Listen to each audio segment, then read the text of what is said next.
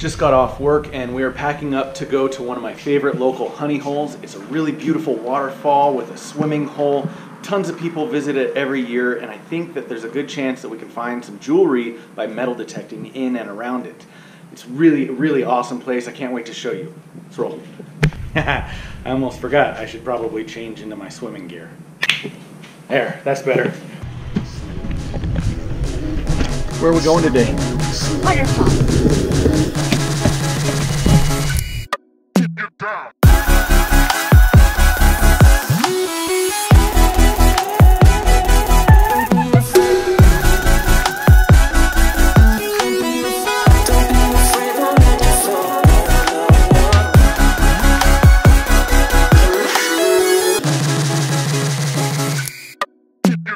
This is also a really good area for us to look for some caves and do some exploration for maybe some different types of Indian artifacts and arrowhead hunting. Um, it's all public land though, so again with the artifact stuff, you can't remove it. It's okay to find it and leave it and get pictures and cool stuff like that, but we can't take it anywhere. So I think I'm gonna take a flight up the canyon as well and uh, do some scouting while we're here too. Let's go.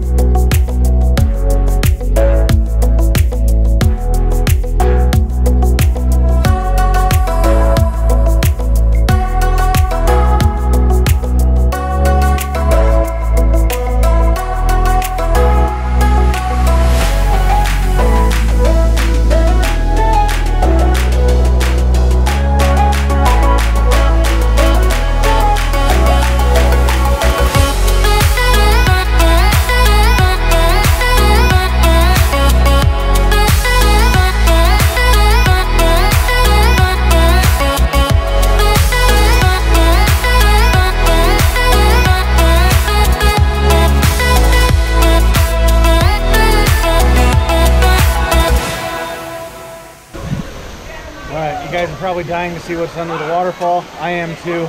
I just got to commit to this cold water first. Let's go. Oh, the boys. Oh, the boys.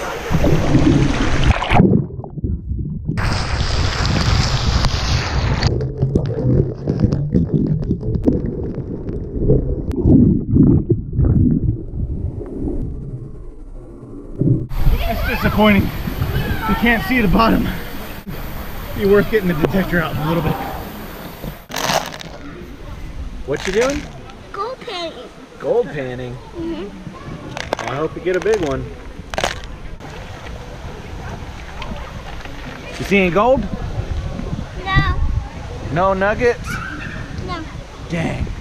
Got a fun little life hack for you. If you own a CTX and you do a lot of water hunting, you know that you have to take this guy off like all the time. And you always like have to find a coin or whatever.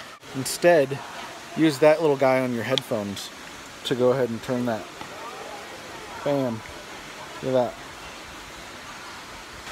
That's what I do. I've set up a special hunting pattern on the CTX 3030. It's a really, really narrow discrimination pattern that hopefully is gonna block out a lot of the stuff that I don't wanna find, like clad and pull tabs and ring pulls, things like that. I'm after gold rings today.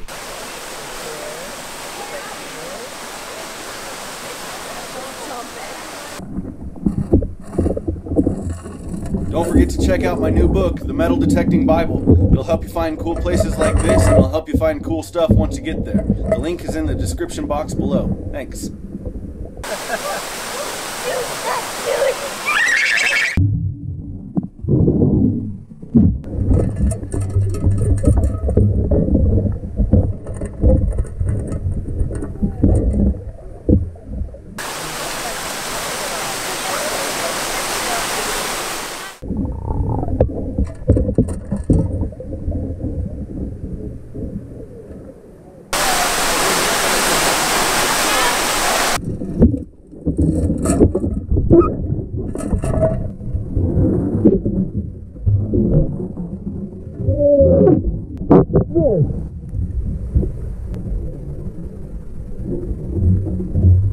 I just found something really awesome.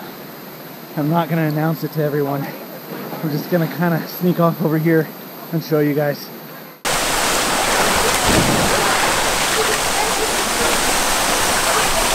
Check that out.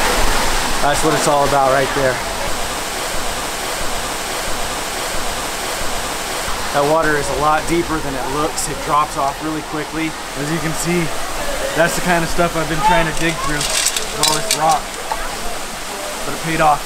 I'm freezing. I'm gonna go dry off. I'm gonna call this a win and go home.